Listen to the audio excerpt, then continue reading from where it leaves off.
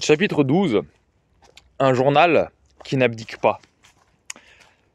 On a vu comment notre chef et fondateur Pierre Gaxot, dans la semaine où l'offensive judéo-communiste redoublait contre nous, avait bouclé ses malles pour un voyage aux Indes. Toutefois, sa première étape ne l'avait mené qu'en Suisse, où la déclaration de la guerre devait le trouver. Sa situation de réformé définitif, ses revenus d'homme de lettres heureux, lui donnaient toute liberté. Trois jours plus tard, il était parmi nous.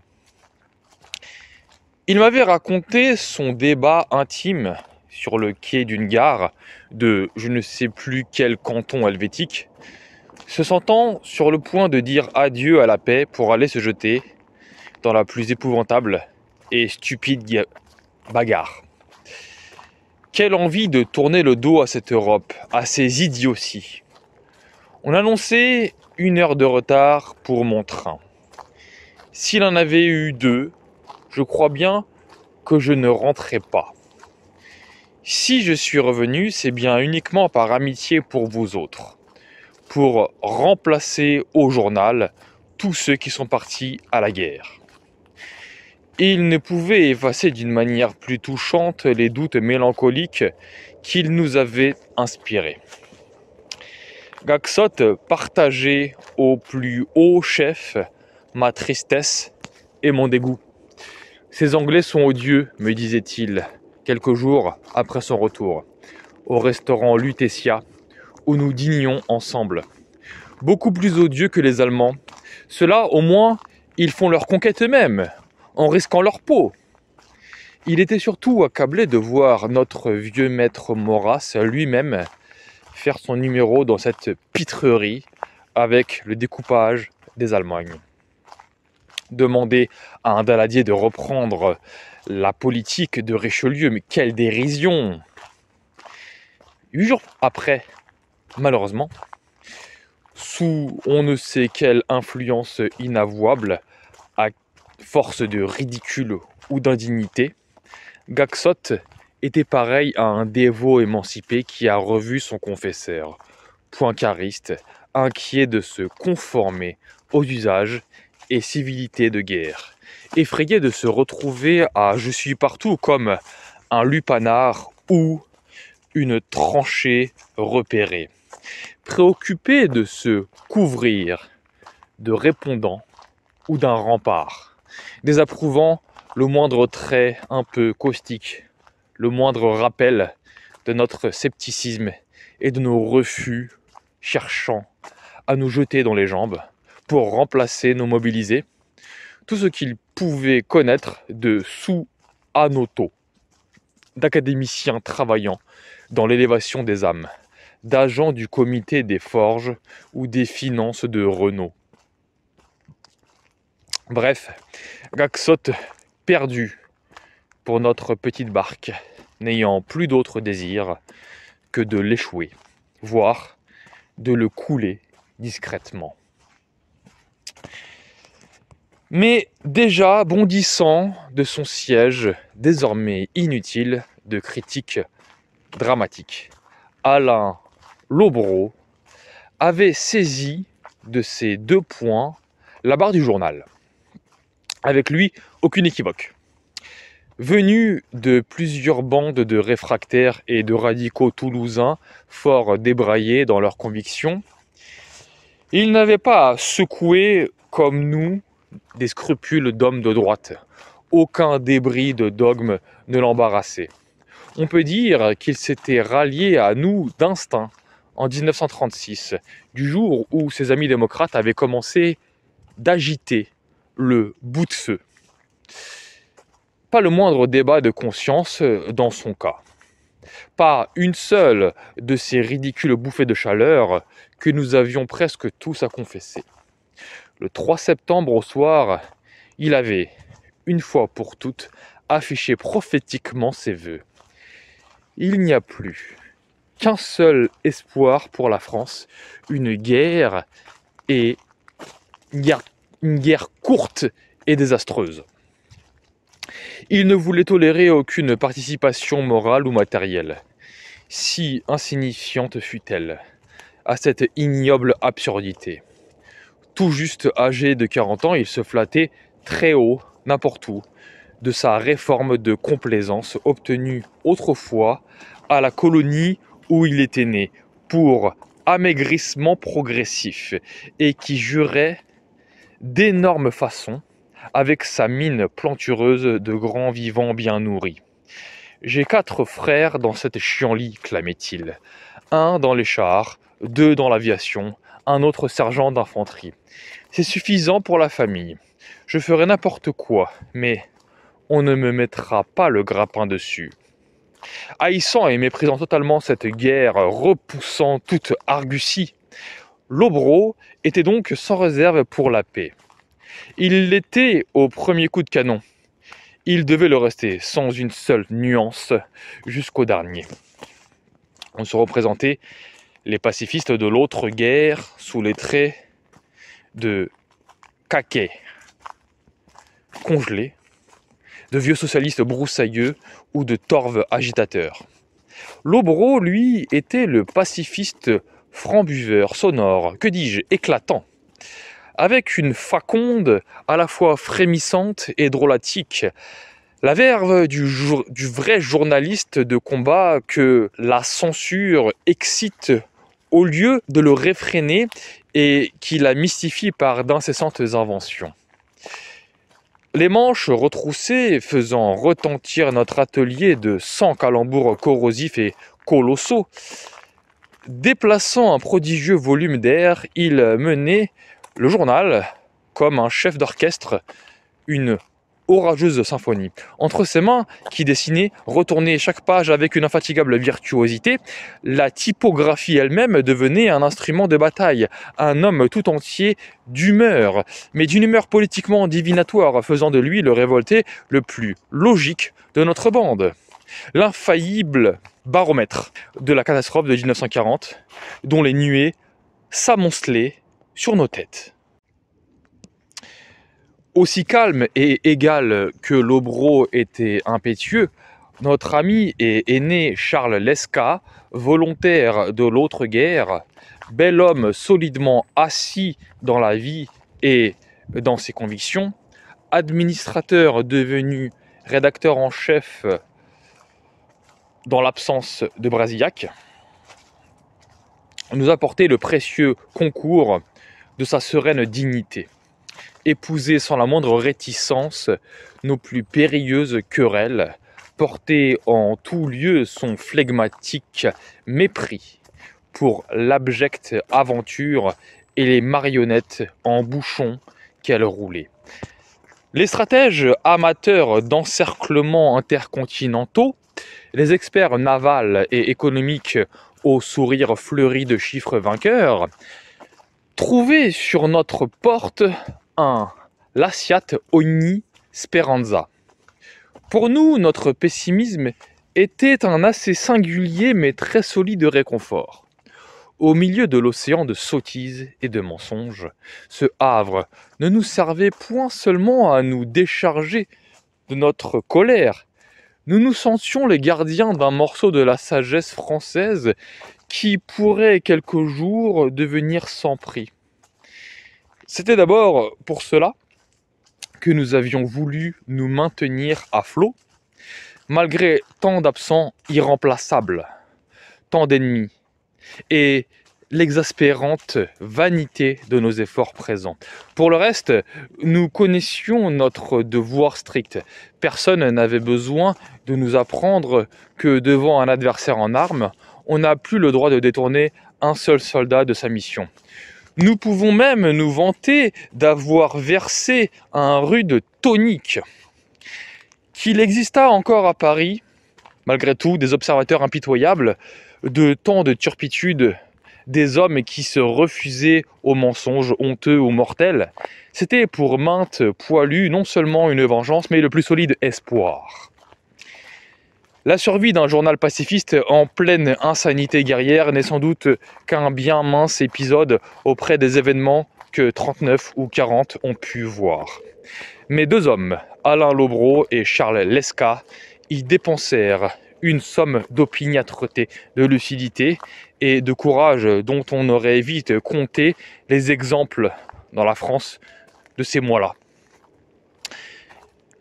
Leur mérite fut d'autant plus admirable que l'un journaliste réputé, connaissant tout Paris, l'autre riche, mûre, libre de toute attache et de toute ambition politique, accomplissant tous deux une tâche pleine de périls, mais presque anonyme.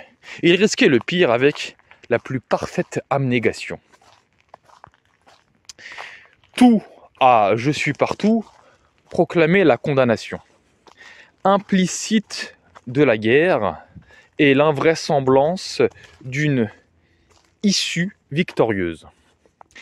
Nous avions imaginé de reproduire chaque semaine, sous le titre Parole à méditer, ces mots de Daladier que, ne pouvait évidemment échapper la censure. Français et françaises. Nous faisons cette guerre parce qu'on nous l'a imposée. Et il fallut les supplications épouvantées de Gaxot pour nous y faire renoncer. Nous prospections toute l'œuvre de Giraudot et nous ramenions ces diamants dont l'éclat devait assez embarrasser le nouveau héros de la grande croisade. Nous faisions crier ainsi nos vérités favorites par le propre arbitre de l'orthodoxie de guerre.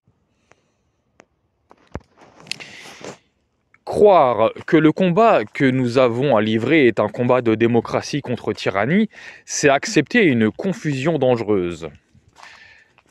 Chaque feuille de journal n'est généralement qu'un voile salissant mais pudique jeté sur la vérité. Plein pouvoir.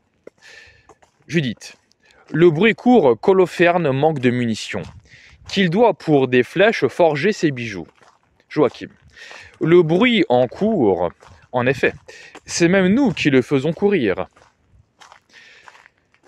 La presse vengeresse des arrières, où les académiciens disputaient au cabot du tour de champ la palme de l'imbécilité et de l'indécence, nous avait déterminé dès la première semaine à composer une anthologie.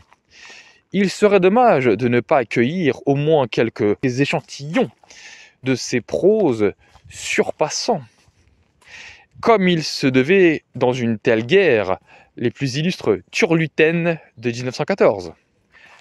À côté des combattants réguliers, constituons l'armée des francs volontaires, incapables d'un effort prolongé dans une tranchée en race campagne, mais capables de ramasser leurs forces, de frapper un grand coup et de mourir.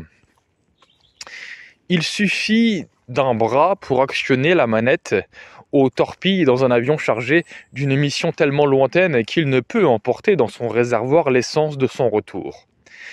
Des tuberculeux s'attaque à un réseau de barbelés. Le premier coupe un fil ou deux, le deuxième un ou deux encore, et ainsi de suite. Tous les assaillants seront tués peut-être, mais le réseau sera coupé. Sans trop vieux aux jambes, alertes, au cœur solide, forcer un blocos aussi bien que de jeunes soldats ou si le blocos se révèle imprenable, ils auront sauvé la vie de 100 jeunes soldats qui eussent entrepris l'assaut à leur place. Jacques Péricard, l'intransigeant, 31 août 1939. La France euh, ne va pas se battre comme jadis pour les libertés du monde, mais pour la sienne. Et son ennemi, cette fois, a un visage qu'elle connaît dans tous ses traits, comme pour mieux l'exécrer. Ce tragique sosie de Charlot, qui, avec sa crotte de moustache et son geste de chasser les mouches, a fait crouler de rire les cinémas avant de les faire trembler d'horreur. Roland d'Orgelès. Je me rappelle avoir rencontré un de mes meilleurs camarades, un de mes camarades commandants, un groupe d'artillerie avec une capeline rose et des gants verts. Que veux-tu me dit-il. J'ai reçu pour mes hommes une collection de tricots de forme et de teintes invraisemblables. Mes hommes ne voulaient pas s'en servir parce qu'ils redoutaient les colibés des camarades. Alors, pour l'exemple, j'ai adopté les plus grotesques. Et je lui ai serré cordialement la main. Général Morin, ancien ministre de la guerre, Paris soir 7 octobre. Inutile de se presser, la victoire est, certaine. Lucien Lamoureux, le journal, 20 novembre. Depuis quelques jours, la haute Alsace n'est plus silencieuse. Nos guetteurs sur les bords du Rhin échangent des coups de fusil avec ceux d'en face. Simple distraction sans doute. Le petit journal 6 février. Les Anglais ne disent-ils pas, quand ils parlent du général Gamelin, notre Gamelin Ne devrions-nous pas dire aussi notre roi Georges VI Abel, Herman, Paris midi 8 mars? En résumé, la situation des Finlandais reste très solide et leur morale est réellement incomparable. Assurément, s'ils devaient être abandonnés à leurs seules ressources, ils finiraient par succomber sous l'avalanche des cadavres russes. Édouard Elsey, le journal, 8 mars. Les Finlandais, à bout de force, signeront la paix quatre jours plus tard. Tendre aveu nous avions publié cet article sous le titre En avant Arche. Bien souvent, j'ai honte de demeurer ici dans la paisible Amérique et de ne pas me trouver avec vous dans les tranchées, de ne pas vous porter mon aide avec les dernières forces qui me soient restées dans la lutte que vous menez pour nous, pour chacun de nous. Mais si je ne me trouve pas physiquement avec vous dans les tranchées, je suis avec vous comme tout homme du globe pensant honnêtement, je le suis moralement. Cette guerre est nôtre et vous la faites pour nous tous. Chalon H, écrivain juif. Les nouvelles littéraires du 10 février. Autre voix de la race élue. Monsieur Jacques Adamar, juif de l'institution dans le droit de vivre du juif Bernard Lecache. Chacun de nous sent chacun de nous sait que défendre la France et défendre les Juifs sont une seule et même chose.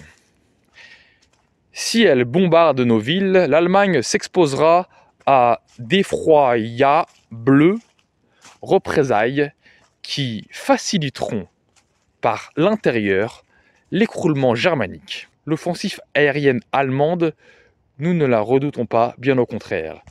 Aux écoutes de Paul Lévy, 14 février. Guerre en dentelle. Les modèles charmants ne s'appellent plus flirt, intimité passionnée, gamin parisien, etc. Mais bien Maginot, Bombardier, Avant-Poste, Tank et 155 cours. Un couturier fantaisiste avait même dénommé un déshabillé de dentelle No Man's Land. Devant l'hostilité voilée de ses clientes. Il a dû rebaptiser ce tea gown permission de détente.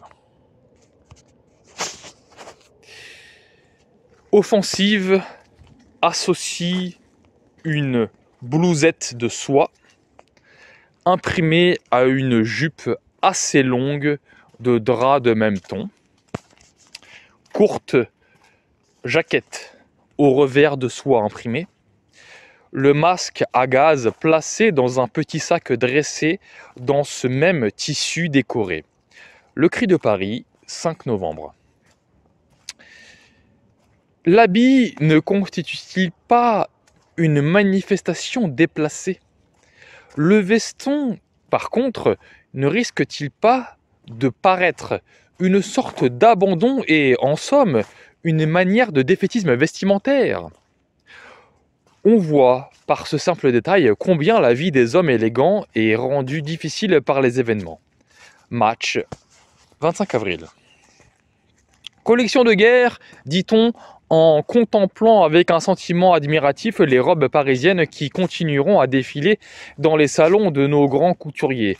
Mais c'est une guerre hardie, confiante, sachant allier l'audace au succès et la patiente et à, l'espoir. Une robe en crêpe noire et rehaussée de broderies cloutées d'acier comme une nuit d'alerte sur la blie. Ibid, 26 novembre. En voulez-vous d'autres encore? Voici nos chers alliés en guerre. Dans un de nos services de contrôle postal est arrivé récemment le premier message adressé à sa famille par un soldat anglais fraîchement débarqué. En voici le texte exactement traduit. C'est le pays du bon Dieu, on peut se saouler pour un shilling. Aux écoutes, 21 octobre. Dans un port du nord de la France, l'envoyé spécial de l'Evening News a visité l'hôpital militaire installé dans le casino. Les premiers pensionnaires sont, assure-t-il, des soldats anglais atteints d'indigestion avoir trop apprécié la cuisine. Jean Oberlé, le journal, 25 octobre.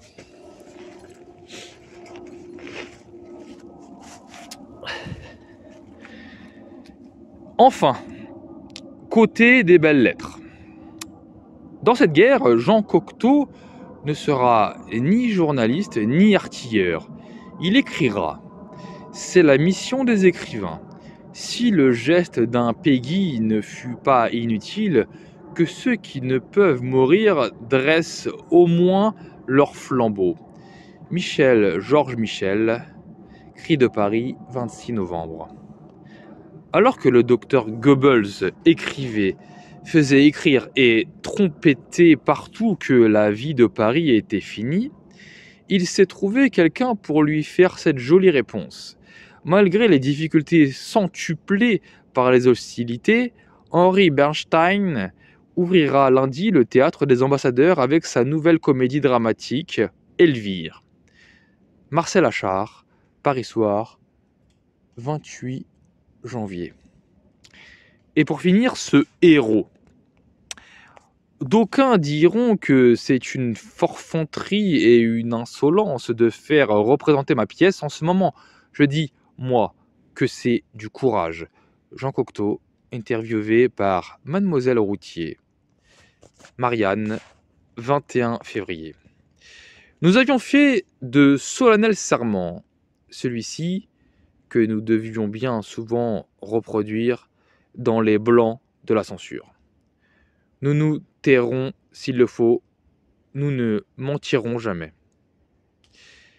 Celui encore de ne jamais oublier l'immense série de crimes que nous avait conduit à cette guerre, qui nous avait conduit à cette guerre et les gredins couverts d'honneur qui devaient en répondre. Ces crimes dont témoignaient par des flaques de sang chacun des noms Hornbach, Sierck, Lablis, la Warnt, de cette frontière où, ni par la conciliation ni par les armes, notre désolant pays n'avait su ramener la paix.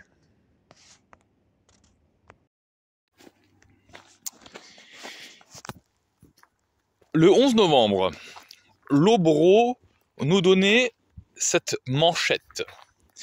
Un crois-tu qu'on les a eus. Le dessin de notre Ralph Soupeau, grand imagier du fascisme français, montrait un conscrit et un territorial, ancien de Verdun, sur la tombe du pauvre petit Pax, né le 11 novembre 1918, tué le 11 novembre 1939, devant Forbach. Robert Brasillac, de son village alsacien, nous envoyait de superbes et vibrantes proclamations. Fascistes plus que jamais et quoi qu'il arriva. Les soldats que nous pouvions atteindre dévoraient avec enthousiasme ces pages où l'on n'oubliait pas un des salauds de l'embusque, du profit, du Bobard, où l'on voyait les spécialistes du haut les cœurs avec leurs nez crochus ou leurs panses épanouies, et les intrépides Tommy peints par eux-mêmes. Faisant la guerre, une bouteille d'une main et l'autre sur le sein d'une indigène de France. S'il fallait bien accueillir pour remplir la place de vins mobilisés, quelques proses conformistes ou nos crayons bleus taillés sans merci, l'équilibre était aussitôt rétabli. Nous faisions d'ailleurs appel à nos amis en uniforme, autant que le permettait la jante des correspondants de guerre, à 5000 francs l'article, indigné par la déloyale concurrence de ses ancêtres confrères à 15 sous par jour, qui n'avait plus d'autre droit que de se taire et de crever.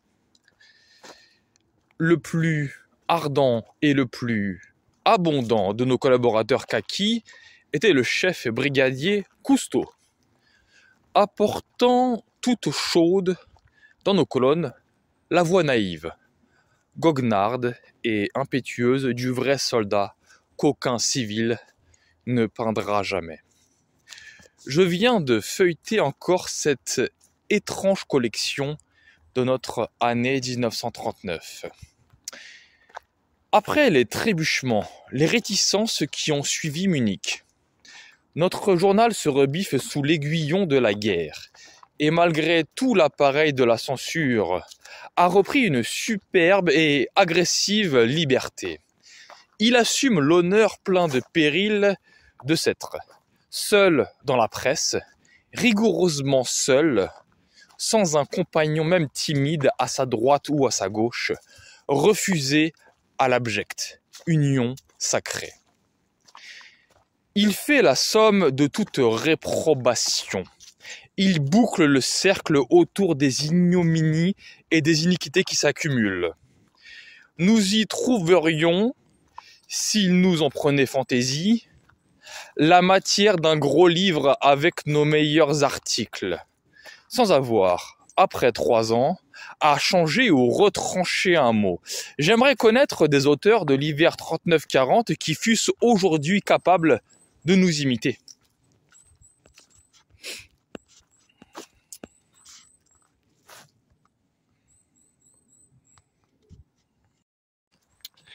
Chapitre 13 À la recherche de la guerre.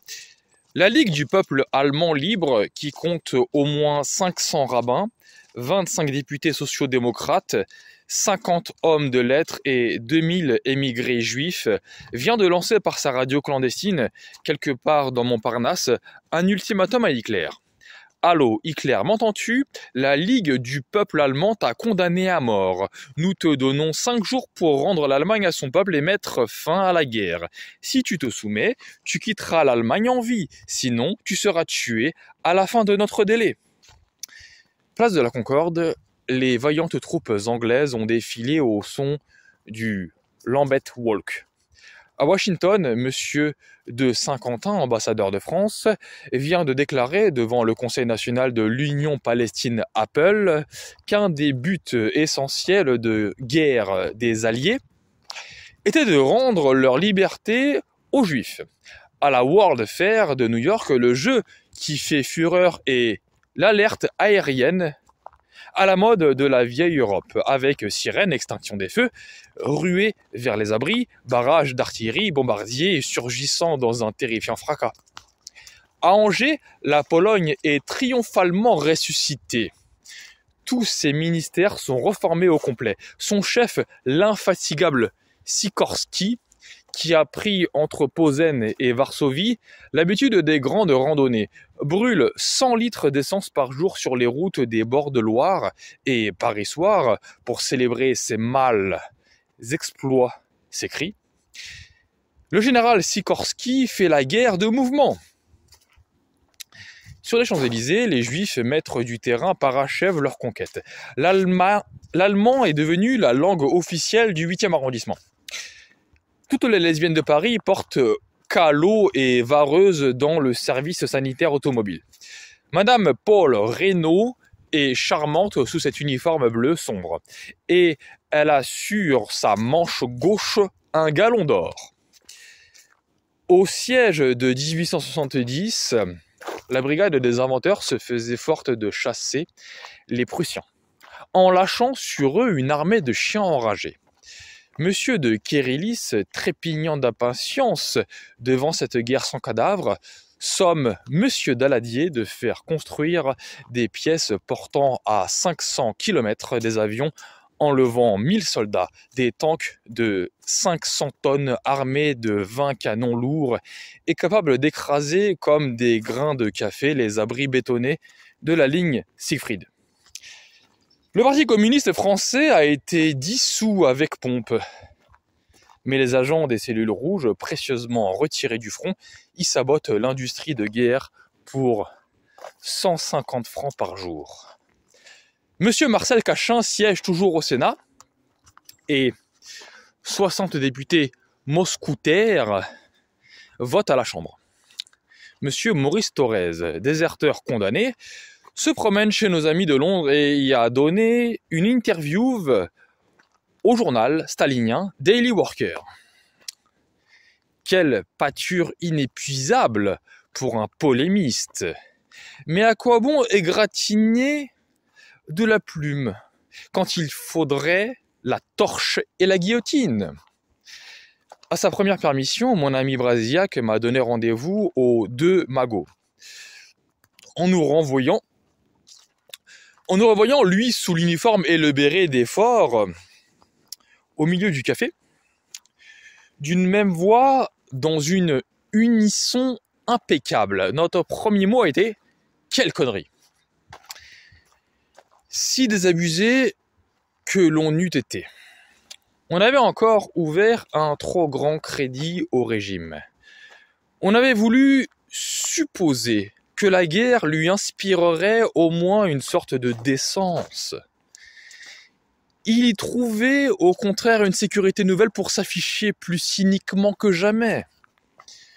Toutes les guerres depuis un siècle avaient déchaîné le plus bas despotisme, ouvert les écluses à la plus épaisse bêtise. J'étais allé dîner avec Sordet chez Henri Béraud, qui nous disait dans l'autre, à partir de 1915, on avait le sentiment que l'intelligence était devenue un délit. Cette guerre-ci, née d'une imbécilité sans précédent, se devait de porter à son comble l'arbitraire, le poncif et le crétinisme. Deux fois par jour, avec une ponctualité gendarmesque, le grand quartier général paraffait un état néant. Rien à signaler sur l'ensemble du front. L'inviolabilité des lignes fortifiées était une certitude unanimement acquise. Le seul coin où l'on est bien sûr qu'il ne se passera rien, c'est sur la frontière de la France, où les deux plus grandes armées du monde sont face à face. Les grands stratèges ne s'émouvaient pas pour si peu. Il souriait volontiers de ce paradoxe et professait qu'il fallait s'accoutumer à concevoir une guerre inédite. Il n'était pas en peine pour découvrir d'excitants dérivatifs du côté de la Turquie, de la Syrie, dont l'armée, dans leur bouche, s'enflait de semaine en semaine. Ils hochaient leur tête lourde de plans à la Cyrus et à Alexandre, en parcourant d'un doigt l'est sur la carte tous les déserts de l'Orient, ou bien des messieurs distingués, sortis des sciences politiques, proclamaient La guerre se gagnera à Mossoul et elle se fait à New York. Roosevelt est en train d'abroger le Neutrality Act. C'est plus important que de capturer un million de prisonniers. En attendant, toute la vie, les usines, les armées, les flottes, les parlements, les résolutions inébranlables de deux énormes empires leurs millions de soldats, leurs milliards chaque jour engloutis, aboutissaient à des patrouilles de 15 hommes rampant entre deux buissons pour ne pas prendre un fantassin allemand. On disait même que Gamelin, pour remplir ses loisirs, prescrivait de sa main le détail de ses expéditions. Toutes les fantasmagories géographiques, diplomatiques, sidérurgiques et pétrolières n'y changeraient rien. Et pas davantage à Pâques de l'an 40 qu'à la Trinité de l'an 43. Je me martelais la tête désespérément contre ces évidences. J'en prenais à témoin le marchand de tabac, le receveur d'autobus, qui me considérait avec cet air d'attention bovine que prend le peuple lorsqu'on essaie d'ajuster dans sa cervelle un embryon de raisonnement. J'avais reçu la lettre de deux hommes heureux. La première de cette année, celle de deux amis lyonnais s'embarquant côte à côte pour la Syrie, lieutenant dans la même compagnie de tirailleurs algériens. Je ne savais vraiment pas très bien où ils pourraient rencontrer les ordres de Hitler dont ils me parlaient. Mais leurs trente lignes retentissaient des piaffements de mulets, des tintements de gamelles, des cris d'arbi, des coups de clairon dans le ciel bleu, de toute la gaieté d'un départ militaire qui tournait le dos aux tranchées fatidiques de l'Est. J'enrageais d'envie pendant trois jours. J'avais reçu la visite d'un de mes plus chers compagnons de bohème étudiante. Entré dans l'armée un peu au hasard, après des années de mélomanie, de littérature, de dilettantisme, devant Rembrandt et Cézanne. On nous pouvait imaginer un esprit demeurer plus indépendant et plus prime sautier sous l'uniforme. Du reste, très brillant et admirablement appliqué dans son métier, ayant été, pour les blindés depuis des années, l'un des plus précieux collaborateurs du ministère de la Guerre. Il m'apportait les réactions les plus éminentes et les plus autorisées de l'armée après le foudroyant knockout de la Pologne. Les grands maîtres des chars français n'étaient aucunement troublés. Un bataillon de nos engins avait, paraît-il, combattu là-bas. L'expérience était concluante, confirmant toutes les prévisions. Notant que venait de faire une hécatombe des médiocres blindages allemands. Encore, n'avions-nous point mis en ligne nos meilleurs modèles C'était en somme une victoire technique pour la France. Le reste passait au second plan. Le curieux de notre cas, selon les sommités militaires, était qu'il fallut que nous déclarassions la guerre pour nous mettre enfin à la préparer. Mais cela n'était pas autrement important, puisque l'on estimait, en haut lieu, que cette guerre durerait quelques dix ans. Nous ne la commencerions pas avant 1942. Nous ne pouvions manquer de la gagner. On considérait aussi avec attendrissement dans les états-majors cette peur de l'aviation allemande que l'on avait eue durant les premiers jours quand on redoutait, bonne farce, que les bombardiers allemands ne vinssent arroser nos trains. Fallait-il que l'on eût été détraqué par les littératures de Paris soir? Je restais plus que perplexe, pour ne pas dire consterné devant ces révélations. Comment des patriotes pouvaient-ils s'en remettre autant avec cette tranquillité? Pour trouver l'issue de notre souricière nous prêter avec cette assurance une initiative indéfinie, oubliée à ce point dans leurs bottes de professionnels, pour qui la guerre est le temps d'élection comme le long cours pour le marin. À quelle mortelle catastrophe un conflit interminable acculerait un pays déjà aux trois quarts épuisé dans son sang, dans son or, dans son âme et que l'état de contrainte guerrière venait de remettre en trois mois sous la coupe des plus stupides criminels, des plus abominables, des plus ignobles malfaiteurs. Que pourrait-il dire s'il leur arrivait de relire Joffre La défensive passive conduit infailliblement à la défaite.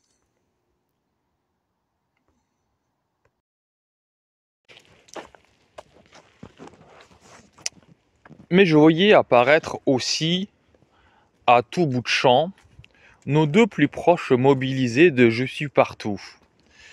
Notre euh, nouveau secrétaire de rédaction, le sous-lieutenant Henri Poulain, normand malicieux, réfractaire de bonne souche, bien heureusement relégué à 27 ans dans un dépôt de la banlieue parisienne par le mystère des affections, sans avoir esquissé pour cela la moindre démarche. Notre ami le capitaine Henri Lèbre, ancien cuirassier à pied et héros magnifique de la Grande Guerre, pour cette présente censeur de trois feuilles de chou à la place de 100 lys.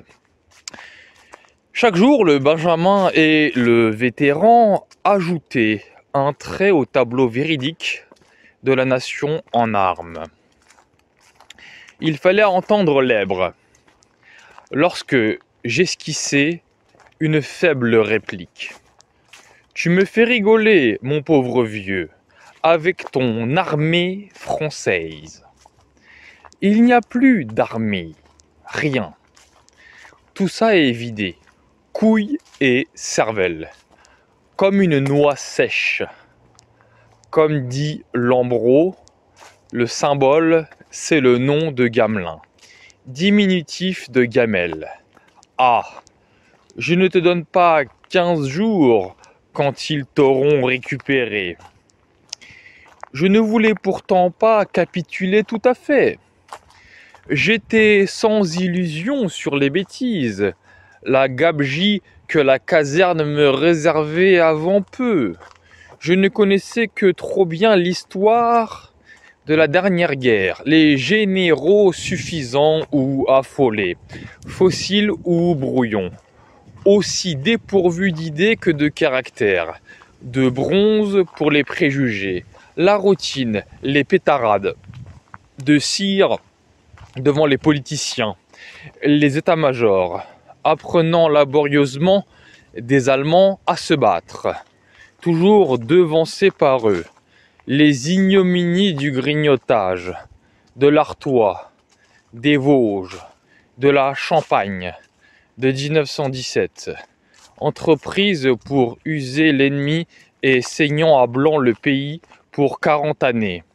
Les robustes sexagénaires à 3 ou 5 étoiles, œil d'acier, moustache impérative, conviction catholique, planqués à 10 km des barbelés, expédiant de là par téléphone leur division au massacre. Les beaux adolescents, les jeunes maris, les pères, les petits conscrits, paysans gourds et candides, les grands vignerons gaulois aux longues bacchantes, aux poitrines profondes et moussues, les poètes, les bretons résignés, les méridionaux joyeux, les marocains nobles et graves, les bambaras aux rires d'enfants, tous devenus des cadavres tordus, éventrés, arrachés, écartelés, émasculés, broyés en bouillie, desséchés et recroquevillés dans les ferrailles, putréfiés dans la fange, pour rien, dix fois, cent fois pour rien. Parce que quelques vieux hommes qui tenaient dans leurs mains leur mort et leur vie manquaient d'imagination et ne savaient pas leur métier. Cependant, je voulais demeurer obstinément persuadé que nos capacités militaires, de nos capacités militaires, en dépit de tout, nous étions parvenus à la victoire. Je croyais, je l'ai dit, à la grandeur du métier des armes. Je voulais absolument qu'elle engendrât la sagesse et la science.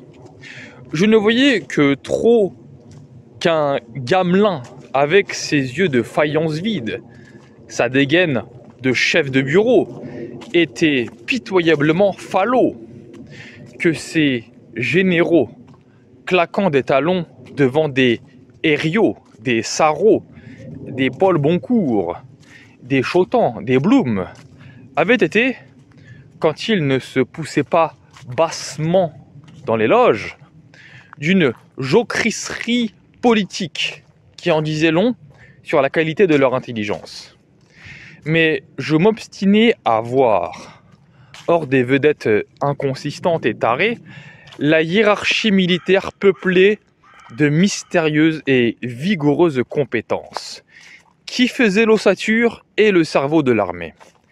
J'avais bien lu cette stupéfiante chronique du temps, où l'on apprenait que rien ne pouvait être entrepris sur notre front pendant la campagne de Pologne. Parce qu'à la fin de septembre, notre artillerie lourde était à peine en place. Ainsi, après 12 mois d'alerte permanente, 6 mois de semi-mobilisation, des semaines passées le doigt sur la détente, l'artillerie lourde, l'arme capitale des fronts fortifiés, manquait encore sur la ligne Maginot. Il avait fallu 30 jours de guerre pour la mettre en position. Quel aveu de routine, d'incurable pesanteur. Mais depuis Munich, je l'ai dit, la propagande sur le majestueux réarmement de la France battait la grosse caisse. Et les nationalistes n'avaient pu s'empêcher de lui prêter une oreille complaisante, parce qu'elle flattait leur fierté. Le long repos qui nous laissait l'ennemi affermissant encore nos espérances. Il était impossible que nous ne l'employassions point à nous surarmer, nous surblinder. Les premiers permissionnaires qui arrivaient de l'avant nous décrivait un luxe de blocos, de champs de mines, de double, de triple fossés anti-chars, avec pièces, casemates de flanquement, canons en tous sens. C'est la ligne Maginot jusqu'à la mer du Nord, et en mieux, en plus moderne. Bref, la guerre me paraissait presque aussi impossible à perdre qu'à gagner. Pour le repos de ma conscience, je voulais que l'on fît à nos chefs militaires un crédit de six mois. Les chefs militaires, rugissait le capitaine Lèbre. Mais où les prends-tu? Donnons-leur tout de même six mois pour voir s'ils ont une idée. Ah, c'est vu depuis longtemps. Je tenais bon de mon mieux. La guerre avait brisé mon travail, détruit mes ressources, saccagé mes dernières espérances politiques. Elle allait m'imposer par surcroît l'enlisement dans un ennui sans borne, entre des vieillards assoupis ou radotants.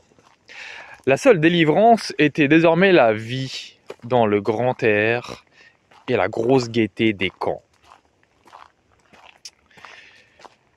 Depuis des semaines déjà, les plus peureuses midinettes avaient relégué le masque à gaz on ne le voyait plus balloter qu'au derrière de quelques vieux sur le bord de la tombe. Le canon chaque jour grondait. Le peuple trottait, n'accordant même pas une seconde d'arrêt. Un atome de pensée à ce phénomène fantastique. Le canon sur Paris. Cette guerre domestiquée jusqu'à ce gong solennel et profond, comme les plus grandes voix de la nature. Le canon foiré avec majesté dans le crachin hermétique. Verronde savait quel ennemi inaccessible et railleur. Canon ponctuel, gravement dérisoire, comme les coups d'un antique Le Faucheux dans le brouillard d'un matin de chasse. L'affaire de Finlande venait tout à coup animer le mauvais film de la guerre des démocraties. Dans l'instant, les Munichois se réveillaient furieusement bellicistes. Nous reconnaissions enfin contre les soviets une guerre juste. C'était un honnête principe autour duquel, reconnaissons-le, nous déraisonnâmes copieusement. Rien n'est plus tristement et ingénument burlesque à deux années de distance, quand on sait l'état où nous nous trouvions, que tous nos articles enflammés exigeant des avions pour Mannerheim, l'appareillage des deux plus grandes flottes du monde, le rassemblement d'un armée anti-moscovite, enfin l'ennemi commettait la faute providentielle attendue depuis trois mois. Hitler n'avait pu en dissuader la brute Staline. Nos stratèges tenaient leur introuvable front de terre. Et quoi? Nos 80 divisions ayant tout juste à tenir les lignes de France. Cette bagatelle, cette corvée de factionnaires ne s'était point encore ébranlée pour cueillir dans le Grand Nord la victoire et, pulvérisant de Leningrad au Rhin, les 500 divisions germano-russes prendre à revers la Siegfried Stellung. Il était dit que l'imbécilité suraiguë remplacerait le typhus dans cette guerre et que sa contagion n'épargnerait personne. C'était à notre tour de jouer les justiciers avec nos sabres de paille. Huit jours plus tard, la nouvelle campagne avait pris sa forme nécessaire. Épopée en Finlande. Combat de langue chez nous. Si les fascistes pacifistes brûlaient tout à coup d'ardeur guerrière, les démocraties bellicistes se trouvaient non moins soudainement réfrigérées. Le clan mousquetaire, qui n'avait jamais désarmé, se reformait tout entier devant le danger, au coude à coude. Les canons du Creusot contre les armées rouges, quelle légèreté, quel crime Non, cela ne serait point nous ne pouvions distraire un seul revolver de notre défense nationale. Cette campagne de Finlande, du reste, était encore un coup de éclair. Le monstre voulait se faire oublier, nous distraire. La splendide armée rouge, tant célébrée, tant regrettée, recevait-elle la frottée d'une poignée de skieurs? L'épisode était négligeable. C'est qu'elle avait braqué toutes ses forces contre l'Hitlérie. Dans les tenailles moscovites, Hitler tremblait de plus en plus. Staline était vraiment en échec? Soit, mais c'était une nouvelle raison d'espérer. Il n'oserait pas, avec cette armée chancelante, chancelante, suivre Hitler dans la guerre. Que le ciel nous garda surtout de rien casser dans ce pas délicat, nos amabilités au Kremlin étaient plus que jamais obligatoires. Nos sourires rendraient leur flamme au bataillon de Voroshilov. La diplomatie française unanime ne pensait point autrement. Tout était donc dit. Pour la première fois depuis des années, un petit peuple agressé résistait victorieusement. Mais les formidables empires alliés, défenseurs du droit et de la liberté, sur le grand pied de guerre, ne dépêcheraient même pas un caporal à son secours. On ne pouvait perdre plus parfaitement la face, avouer plus totalement son impuissance. Et ce serait bien pire encore dans quelques semaines si la Finlande s'acharnait, si elle tenait pied. Quel gêneur que ces bougres-là. Avec leur Mannerheim et leur héroïsme, que de vœux impatients le quai d'Orsay devait faire pour leur écrabouillement instantané. Digne fin d'un système absurde, l'URSS. Se trouvait être présidente en exercice de la Société des Nations il fallut l'exclure dans un concert de sanglots. Sur un dernier tu-coq, la confrérie genevoise ferma douloureusement ses portes. On ne devait plus en entendre parler. Mais il s'agissait bien de la Finlande, du blocus, et de 5 millions de mobilisés et de la guerre qu'on ne savait toujours pas où commencer. Et de la victoire et de la paix. La France venait de trouver une inquiétude à sa taille. J'avais relu au printemps précédent, avec la plupart des camarades de mon bord, un bouquin sur la guerre juive. Une compilation banale, comme il nous en arrivait une demi-douzaine par semaine, mais se distinguant par une pompeuse dédicace à Gaxot et à Je suis partout. Je m'apprêtais à rendre la politesse par un bref compte-rendu. Pujot, qui m'avait vu le livre en main, m'en dissuada. C'est le travail d'un agent allemand, j'en suis sûr. Pour ne point alarmer l'action française, on laissa tomber la guerre juive. J'avais oublié jusqu'au nom de son auteur quand les journaux révélèrent qu'un certain Ferdonnet, journaliste antisémite, était l'un des speakers français de Radio Stuttgart, l'un des gaillards à la voix grasseillante, aux plaisanteries assez épaisses, mais probablement bien choisies, puisque 10 millions de Français s'en délectaient trois ou quatre fois par jour. Le lendemain, la guerre avait enfin son héros populaire chez nous. Il ne manquait plus à l'estimable Ferdonnet que le patronage de Maurice Pujot. Celui-ci, avec la joie du bon détective content de son flair, s'empressait d'apporter ses révélations. J'ai bien connu Ferdonnet, je l'ai reçu souvent dans mon bureau. C'était un garçon mal dégrossi, j'ai bien fini par voir qu'il travaillait pour l'Allemagne. Mais vraiment, je ne lui aurais pas cru l'étoffe d'un grand traître. Quelques semaines plus tard, le sieur de Kirillis s'emparait triomphalement de cette prose opportune. La campagne des nazis de Je suis partout et d'Action française reprenait à grand orchestre. Un marmiteux du plus obscur journalisme se voyait promu rang de grand banquier de la propagande allemande. Il devenait le cerveau d'un gigantesque réseau d'espionnage et de conspiration. Le maréchal Pétain lui-même avait donné dans ses filets. La maison Ferdonnet et la maison de Je suis partout, étroitement concertées, avaient travaillé à l'éclairisation du pays.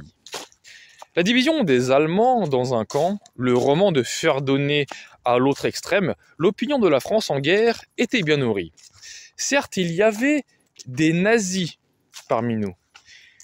Si c'était être nazi que de haïr l'ennemi juif, abhorrer cette guerre incohérente qui ne pouvait plus euh, que nous nuire, appeler désespérément la paix au fond de son cœur, Bref, ne penser et ne sentir que selon l'intérêt suprême de la patrie. Mais notre francophilie ne pouvait qu'apparaître détestable et redoutable aux yeux des bandes internationales, dont Kirillis était l'instrument. Le prétexte servait à une double diversion. Au moment où il fallait trouver à droite le pendant aux quelques communistes que le ministère feignait de pourchasser et où l'affaire de Finlande échauffait les têtes. Kirillis y ajoutait sa propre mythomanie, les folles sécrétions de ce qui lui servait d'encéphale, la frénésie hystérique ou le précipité, nos seuls noms. Tout cela était donc assez logique et en même temps d'une extravagante idiotie puisque Maurras se voyait traité en agent de l'Allemagne d'une affreuse ignominie, puisque de loyaux soldats se trouvaient en pleine guerre, accusés d'intelligence avec l'ennemi. Après des circonlocutions fielleuses, Kérilly se clouait Maurras, Brasillac, Cousteau et moi-même au pilori de son époque. J'avais à répondre en mon nom et en celui de mes amis soldats et muets par ordre. Riposte facile. Kérély se brandissait en guise de dossier et pour cause, trois placards de publicité à 1350 francs d'un livre de Ferdonnet, paru dans Je suis partout, en même temps que dans trois autres hebdomadaires dont il ne soufflait mot. Plus une kyrielle de citations de nos proses truquées et tronquées grossièrement à coups de ciseaux. Cousteau devenait ainsi coupable d'avoir exigé la rupture des relations franco-américaines pour un filet humoristique où il demandait, à propos de l'annexion par les États-Unis de deux îlots du Pacifique, s'il ne conviendrait pas de mobiliser la conscience universelle aussi bien contre M. Roosevelt que contre Mussolini. Kérillis tirait l'argument massu contre moi-même d'un reportage sur l'Alsace où je réclamais l'incarcération immédiate pour les agents de l'ELS que Daladier venait effectivement d'arrêter. Je ressentais amèrement, pour en avoir fait trop souvent l'expérience, l'inutilité de ces frustrations, ces recollages de textes, qui n'ont jamais effacé un mensonge, converti un ennemi, ni clos une querelle on ne polémiquait pas avec un misérable énergumène, aussi venimeux, aussi dangereux et vendu. On le faisait oxyre convenablement.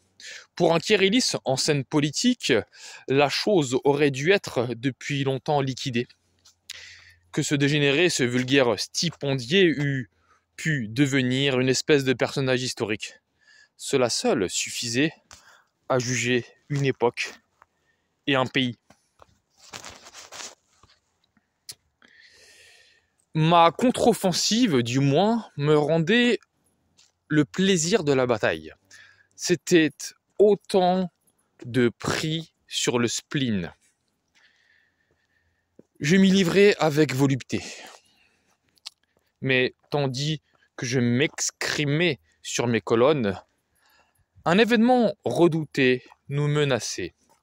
Gaxot, après nous avoir suivis quelques semaines vaille que vaille, en rechignant, mais en nous maintenant, malgré tout, sa signature, donnait des signes de plus en plus pitoyables de désarroi et de peur. Notre verdeur lui inspirait de vraies transes. Lui qui avait haussé si violemment les épaules devant les fameuses Allemagnes de Maurras. Il contribuait à son tour au découpage. Quinze jours plus tôt, il nous avait affligé d'un article alibi, une publicité pour les bons d'armement de Renault qui faisait une tâche déshonorante dans notre journal. Les clameurs de Kérélis le jetaient en pleine panique. Il ne pouvait plus cacher sa terreur d'être mêlé à des réfractaires aussi compromis que nous. Il parlait tout net de suspendre sa collaboration. Pourtant, le tintamarre de Kirilli se tournait d'une façon presque inespérée à sa courte honte. L'odieux Anton avait d'abord manifesté une hâte extrême. Il sommait ministres et corps constitués d'entendre sur l'heure ses dénonciations et d'agir, d'appréhender, de perquisitionner, de juger, le sort de la patrie en dépendait. Mais la commission des affaires étrangères de la Chambre, sous quelques influences raisonnables, l'avait invité à s'expliquer devant elle. La chose aussitôt était devenue moins urgente. Les individus démasqués par M. de Kirillis, redoutables malfaiteurs, traîtres à leur pays en pleine guerre, pouvaient toutefois courir quelque temps encore. M. de Kirillis déclinait l'invitation officielle il ne s'expliquerait qu'en séance publique. Mais le Parlement siégeait maintenant. Des demandes d'interpellation étaient déposées. Kérélis n'avait pu se dérober davantage. Les couloirs étaient fort agités par une philippique où le gentilhomme, quelques jours avant la séance, jetait la suspicion sur une cinquantaine de ses collègues. Kérélis commettait ainsi la gaffe majeure, en violant sur un point grave la confraternité des élus. Les moins vils d'entre eux ressentaient sans doute aussi l'indécence d'un tel débat.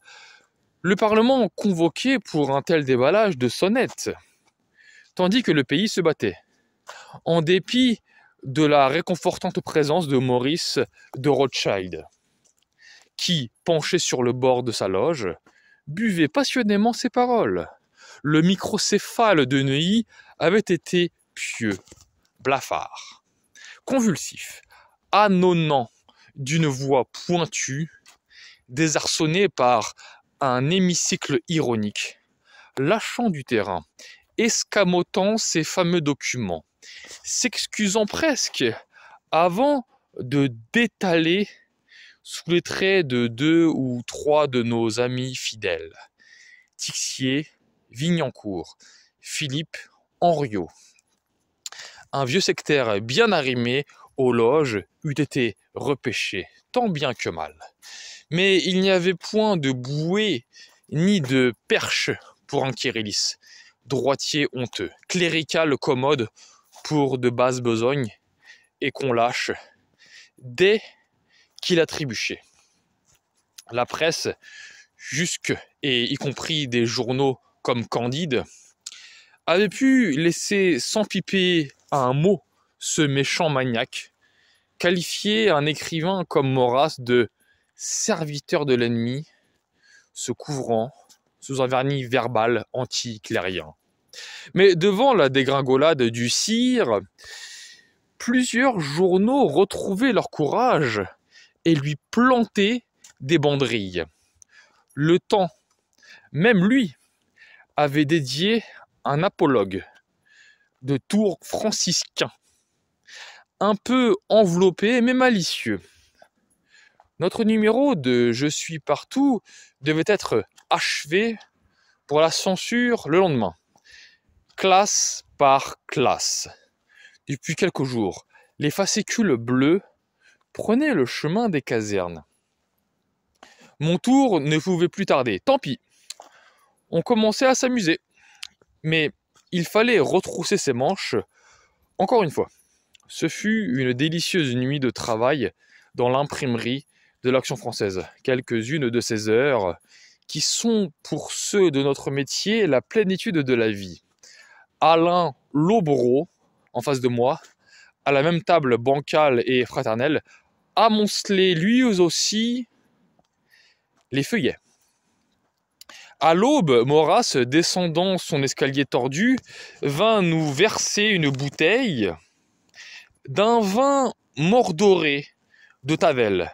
C'est une grande faveur. Il est réservé aux soldats, mais vous vous êtes bien battus. Nous décidâmes d'attendre de pied ferme en achevant nos copies les ouvriers qui allaient composer avec nous notre journal. Vers le milieu de l'après-midi, pendant que je finissais de corriger mes épreuves, un coup de téléphone de ma femme m'annonçait que mon ordre de rappel venait d'arriver. Roman, 144, 144e dépôt d'infanterie, J'étais à la tâche sans désemparer depuis 26 heures. J'ai terminé à temps, ravi de la nouvelle. Mais je n'étais pas encore au bout de mes peines. À l'action française, que je confectionnais depuis quatre mois presque seul, Maurice Pujot, malgré tous mes avertissements, avait naturellement oublié de me prévoir un remplaçant je me trouvais rigoureusement seul dans la vaste et mélancolique rédaction du Bocador. Il ne me restait plus qu'à me résigner. Je n'avais pas encore le droit de me coucher ce soir-là. Il fallait passer mes deux dernières nuits de civil à remuer le plomb et les dépêches. Et quand tout était achevé, mes godillots de montagne lacés, mon pactage ficelé dans une hâte éperdue, me rasseoir chez moi à ma table pour écrire la nécrologie du malheureux Lucien Dubec, qui venait de mourir, martyr de son métier solitaire, sans un sou, après vingt ans de talent, d'esprit et de labeur opiniâtre. Enfin, je posais ma plume pour arrimer ma musette. J'embrassais en hâte ma femme, énergique et fidèle compagne de toutes mes pensées, que je laissais à Paris, entièrement seul devant bien des vicissitudes. Quelques heures plus tôt, Gaxot venait de consommer sa trahison. Il nous retirait sa collaboration, désavouant ses compagnons de lutte au plus fort de l'épreuve et décapitant notre journal.